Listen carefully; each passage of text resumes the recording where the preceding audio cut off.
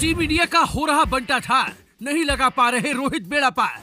नए कप्तान की उठ रही मांग। पांड्या बुमराह का आ रहा नाम। ब्लू ब्रिगेड को अगर लाना है पटरी पर, बीसीसीआई को अनुभव पर करना होगा निर्भर। किंग को फिर से देना होगा भार। तभी भारतीय टीम कर पाएगी पलटवार। टीम इंडिया के प्रदर्शन की अगर बात करें तो एशिया कप 2022 से वर्ल्ड कप 2022 तक काफ़ी निराशाजनक रहा।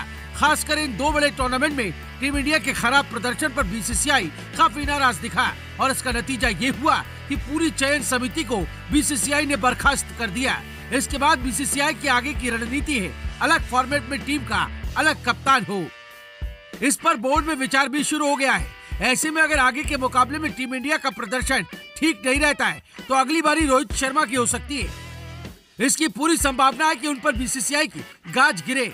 ऐसे में आज हम बात करेंगे टीम इंडिया के सफल कप्तानों में रहे विराट कोहली की और जानेंगे कि आखिर क्या वजह हो सकती है कि उन्हें दोबारा भारतीय टीम की कमान सौंप देनी चाहिए। कोहली का कप्तानी में बेहतरीन रिकॉर्ड। टीम इंडिया के सफल कप्तानों की सूची में विराट कोहली का भी नाम शुमार है। अगर टेस्ट में बतौर कप्तान उनके रिकॉर्ड पर नज़र डालें तो उन्होंने अड़सठ मुकाबले में से 40 मुकाबले जीते, जबकि 17 मुकाबलों में उन्हें हार का सामना करना पड़ा। वहीं उनकी कप्तानी में 11 टेस्ट मुकाबले ड्रॉ रहे हैं। ऐसे में उनकी कप्तानी में टेस्ट जीत का प्रतिशत अट्ठावन दशमलव दो आठ का रहा है। इसके अलावा वनडे और टी ट्वेंटी में उनकी कप्तानी के रिकॉर्ड को देखें तो पिचानवे वनडे और पचास टी ट्वेंटी मुकाबले में वो टीम इंडिया के कप्तान रहे। उन्होंने वनडे के पिचानवे मुकाबलों में पैंसठ मैचों में जीत दर्ज की है। वही पचास टी ट्वेंटी मुकाबले में उनके नाम 30 जीत दर्ज है। ऐसे में व्हाइट बॉल फॉर्मेट में अगर कोहली के जीत का प्रतिशत देखें तो वो 60 प्रतिशत है। मैदान पर पूरी तरह एक्टिव रहते हैं कोहली। टीम इंडिया में किंग कोहली को सबसे बड़ा बल्लेबाज ही नहीं माना जाता, बल्कि वो बतौर फील्डर भी काफ़ी चुस्त और एनर्जेटिक है।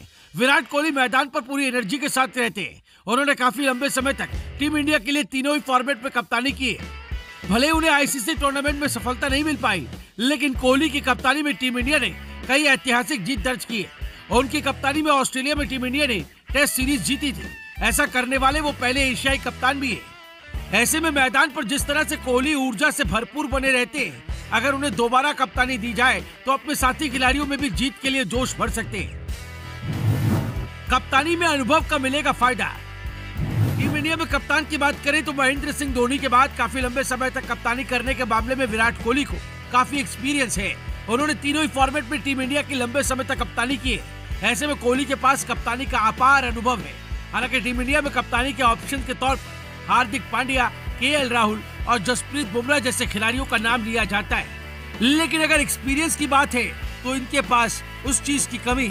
वहीं आपको बता दें कि जब विराट टीम इंडिया के कप्तान थे तो भारतीय टीम एक भी मुकाबला अपनी धरती पर नहीं हारी थी इसमें कोई दो राय नहीं है। अगर आईसीसी के इवेंट्स को छोड़ दें तो विराट का रिकॉर्ड शानदार रहा है।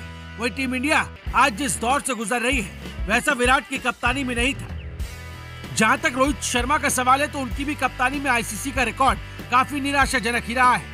ऐसे में विराट अब भी काफ़ी काबिलियत रखते हैं कि वो टीम की कमान अपने हाथों में लेकर टीम को नई दिशा दे सके और खिलाड़ियों में फिर से जीत का जज्बा जगा सके।